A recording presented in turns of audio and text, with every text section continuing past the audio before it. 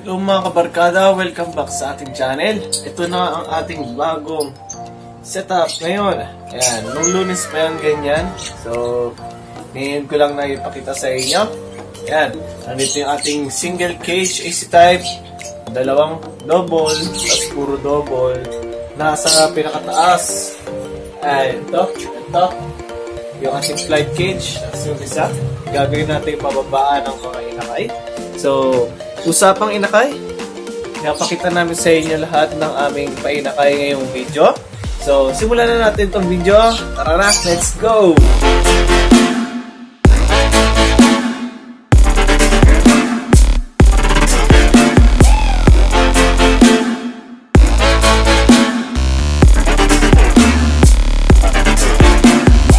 So, unahin natin na ipakita itong kinamaha. Ayan, si Namaha. Ayan. Si Maha. Ayan, sawa niya. Ayan. So, dito, hindi ko lang kung makikita nyo. Ito mga inakay ni Maha. Ayan, check-check natin. Ayan, oh. Tatlo, oh. Ito yung pinakama... Ito yung panganay. Ayan, puno... Okay na ang kanyang balahibo. Oh, mipot! Ayan. Five na naman siya. Pie. Green pie. Napakaganda oh. Parang gumaganda na gumaganda yung mga papait ni, ano, ni Maha. Ayan. Tapos yung isa, katago dito. Sino to? Oh, yung green. Na parang si Bayabas lang. Ayan, oh, si, parang si Bayabas, oh. Ayan, tumatay lang, tumatay sila sa akin. Uh, next, yung isa, yung nasa loob. Hindi ko alam kung magiging kakulay ito ni Duby. Ah, hirap kunin. Nasa dulo. So, ayun. Ayun lang. Tatlo tong inakay niya na dapat ay ano, na dapat ay lima. So, yung dalawa ay namatay sa ano pa lang, sa sisiw pa lang. Yung isa, Lutino yun eh. Pinamposter natin yun. Sayang yung Lutino na yun. Namatay lang. Nadadaganan. So, ayan, tatlo. Yung isa, nandoon sa pinakaharap magiging kulay blue yun na kakulay ni Duby. Ayan. So, ayan yung inakay natin dito kay Maha asa, ayan o. Ayan, kinamaha. Ay, yeah. Woo! Ang haba oh. Hugas mo na kamay. And then, isunod natin ipakita itong ating back-to-back -back na opaline. Shit, ang liwanag. Sorry. Ayan. Ating back-to-back -back na opaline ay nandito. Naririnig ko yung inakay na pinapakain. So, bago natin to tignan, papalabasin muna natin lalaki. Ayan na, ayan na. Itong, itong opakak kasi, masyadong, masyadong ano eh, angry. Ang angry bird to eh. Ayan na. Oh, oh, oh, easy, easy. Easy. Ayan oh, masyadong matapang oh. Ayan. Tapos saka natin na harangan.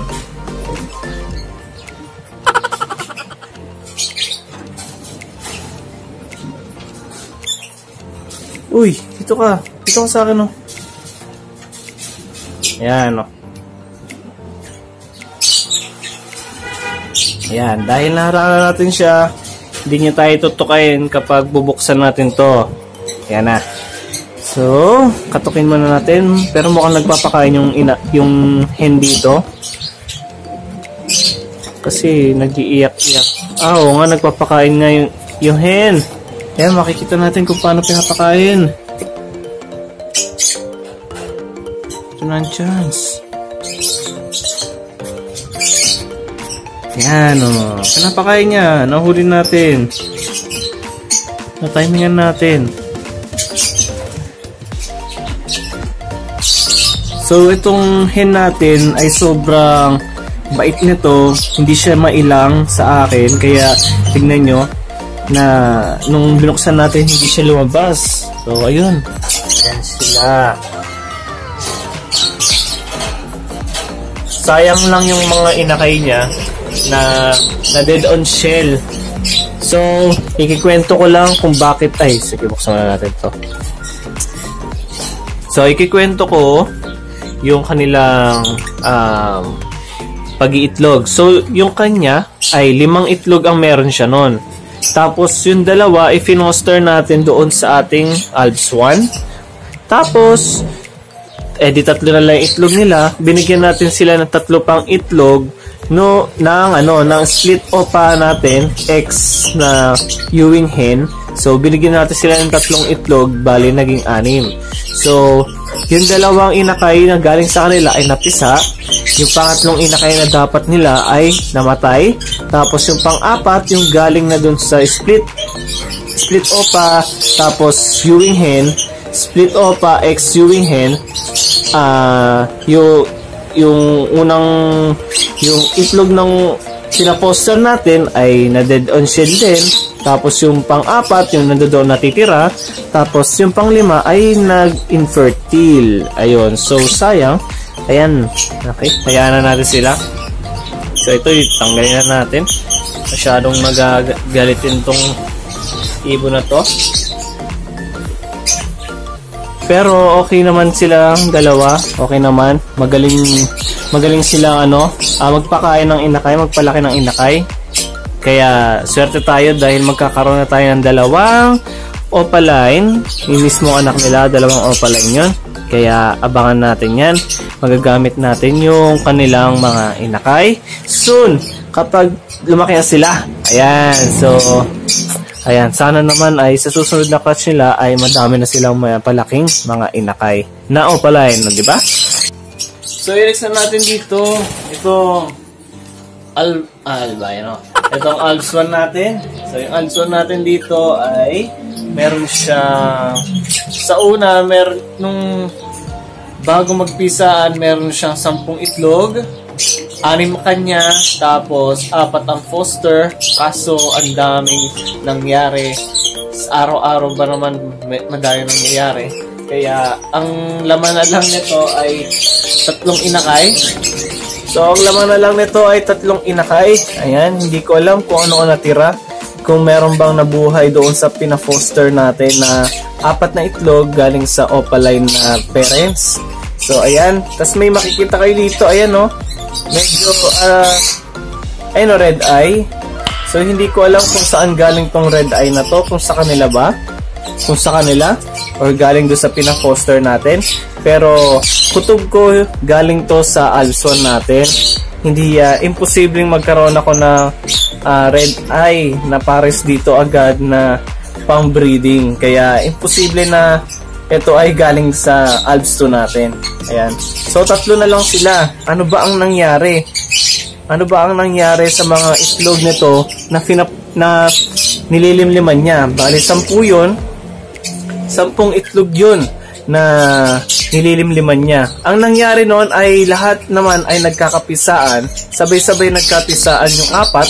Hindi rin sila napapakain ng maayos na tipong uh, kung sino ba na kung sino ba yung mauunang malalagyan ng uh, pagkain sa kanilang crop. So, medyo nahihirapan yung hen natin kung sino uunahin. Kaya, uh, ang nangyari, sa sampung inakay, ay sa sampung itlog, bali naging dalawang infertile, then, 8 na lang yon tapos lima ang namatay na. So, lima na ang namatay. Kaya, ayun na, hanggang sa tatlo na lang yung naging inakay nila na medyo from from 10 eggs naging 3 3 na lang yung ano yung nabuhay. So medyo masakit syempre dahil nag-expect tayo ng maganda at maraming ano maraming painakay dito sa atin kaya hindi maiwasan ang pagka ano sa kanila pagkakatampuan natin sa ibon natin. Kaya, pero okay lang, may tatlo pa naman silang inakay na sana ay may mag-Alps 2 dahil kung lahat to ay Alps 1, yung inakay ng tatlo dito, kung kung yung tatlong inakay dito ay Alps 1, walang nabuhay na opaline sa pina-foster natin sa nila. Kaya yon gusto, uh, inaasahan ko na kahit isa lang dito sa pina-foster natin na sa Alps 1 na kahit isang Alps 2 Alps 2 Opaline kahit isang Opaline lang na pina-foster natin dito ay mabuhay kahit pa paano ay Merong isa dito at merong ah, dalawa dito. Dito sa ating back-to-back na opaline. So, dalawa dito, isa dun sa also natin. So, kahit pa paano, sana makabawi man lang. Di ba? Medyo hindi, hindi pa natin kasi makikita kung kailan makikita yung eye-ring nila. So, hintayin pa natin ng 2 weeks yung tipo makakadilat na sila. Kapag nakadilat na sila, doon lalabas yung pabilog sa kanilang mga mata. Tulad nung inakay ni Maha na nasa 3 to 4 weeks pa, pa lang ata to. Hindi ko na, na hindi ko na nare-record yung kanilang edad. Hintay-hintay na lang tayo ulit sa pagpapalaki ng mga inakay na ating ads 1 dito, kinamaha dito, ayan sinamaha, tapos yung ating back-to-back na opaline doon, ay yun, ah, ito pala, ayan. so ayun lang naman ang update natin dito sa ating ibunan, yung mga painakay, So, ilan ba ang naging inakay natin, ang magiging inakay natin dito? Dalawa, lima, walo. So, walong inakay. Tapos may isa pang ipon doon na sana mapisa. Sana hindi ma-dead on shell na naman. Dahil ang hirap magkaroon ng dead on shell. Hindi pong makakalabas na nga siya. Kaso hindi kinaya. Ayun ang ibig sabihin para sa akin sa dead on shell. Sayang. Sayang, sayang. So, walo. 1, 2, 3, 4, 5, 6, 7, 8. So, 8 ang inakayan natin dito na pababa, na palaki pa lang. Kaya, asahan natin na kahit paano ay meron tayong mabibigating na painakay dito para naman makabawi-bawi tayo sa gastusan, di ba? So, ayun lang naman ngayong video mga kabatkada. Salamat sa panonood sa ating dito sa ating video. Ayun. So, happy 10,000 followers sa ating Facebook page. At dito ay mag-15,000 na tayong subscribers. So, salamat sa inyo mga kabatkada. Mag-ingat lahat and we'll see you on the next video.